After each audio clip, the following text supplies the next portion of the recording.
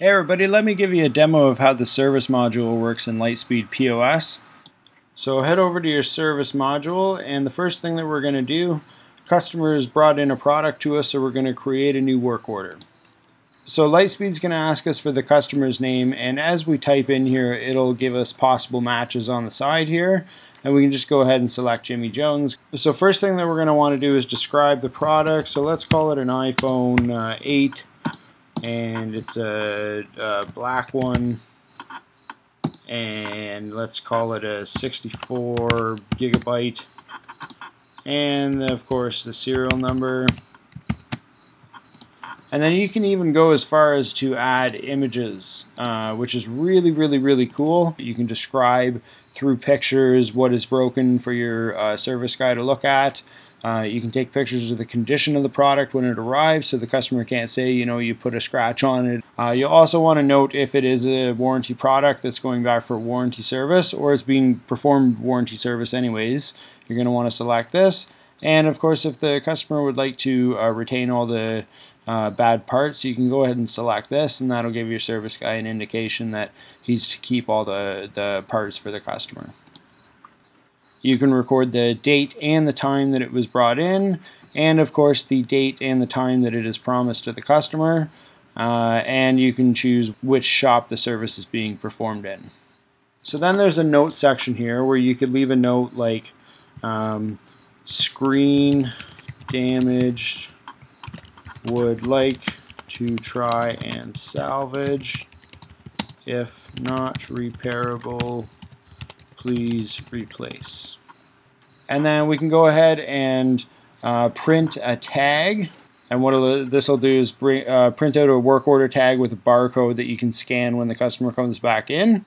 So you can also send this as an email. It'll go ahead and uh, load up with the customer details uh, and allow you to put a little uh, message in here. Uh, thanks for stopping in. our service tech will get in touch with an estimate ASAP and uh, hit send email work order and that's going to fire off this work order with that message uh, to the customer just so that he's got an electronic copy of it too. That's really powerful. Customers love that nowadays. So at this stage, the rep who's taken in the product can walk away and uh, drop the product and maybe print out a tag and put it with the product in the service department. So the next day, your service guy is going to come in and he's going to go ahead and click work orders. And that's going to give him a list of everything that's come in and everything that he knows the status is open, so he needs to look at. And he clicks open, and this is going to show him the uh, open work order and all of the details. He's going to go ahead and take the actual physical product and look at things, and he's going to determine uh, cost. So he's going to go ahead and say, uh, I'm going to add labor, and I think I have my labor set up to be $100 or so. Uh, let's just say it takes half an hour and that's all I want to uh, charge the customer for. So I go ahead and put in 30 minutes and click save and the shop knows, oh I think I had it at 125, that's right.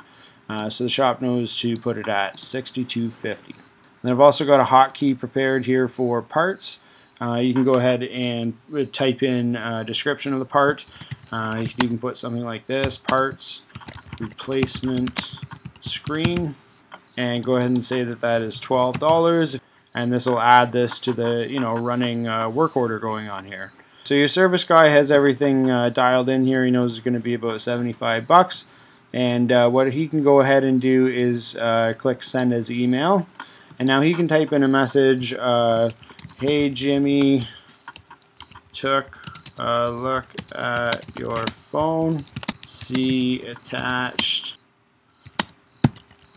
quote and let me know if you want me to go ahead with this repair. And then of course you can see here that it's added in all the pricing so the customer has a good idea of everything that's going on. And then he can go ahead and send that work order. And then what he's going to want to do in this status is uh, set it to estimate. And you can see here that it's uh, completely changed color. And if we go back to the work order screen, it's changed color out here. I also have a video on how to set up different color-coded statuses within the work order system, which is really cool. Go ahead and check that out.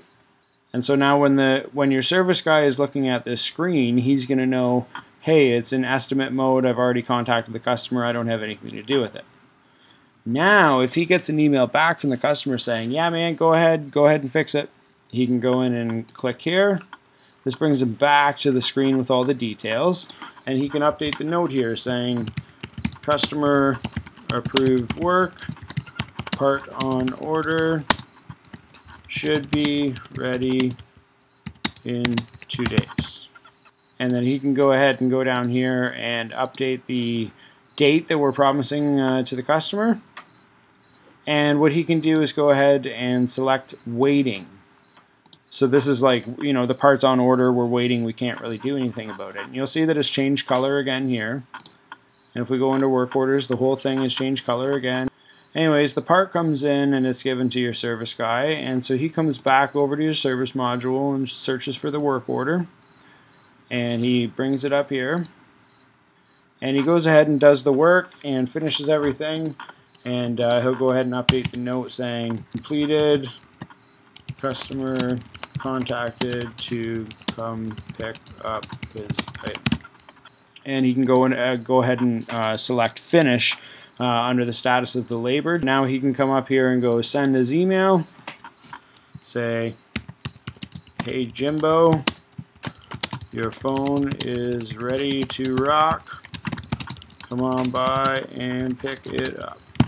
And you can see that it's got all the updated information here with the updated notes. And you can go ahead and click send email work order and that'll send it to the customer and tell them to come pick it up. And you can go ahead and select finished now. And you'll see now it's changed to a grayed out uh, color here. And you'll notice too if you go back to work orders it's all grayed out here as well. So now the customer's come back in and he wants to pick up his order. And he doesn't have a sheet with you so you can't scan the barcode. But what's really cool is you can just go right into finished orders. And this will give you a list of everything that's ready to go and you can go ahead and uh, select the edit button to go back into the screen here to see all the details. And then from here we can click checkout. This is going to pop us over into the sales module and bring up the work orders tab and it's going to have all the information here. Everything's good. Everything's good to go. And we have to make sure that we select that the work order has been completed. Now this puts it into a full receipt mode and we can take payment from the customer in the form of debit card. And we'll finish the sale, print the receipt for the customer or email it, and bada boom bada bing, we have completed a work order. Now let's go back into our service mod and you'll see that work order no longer exists in here for your service employees to see. So anyways, that's the service module in Lightspeed POS. I really hope this video helped you out. Give me a thumbs up if it did, and thanks for checking this out.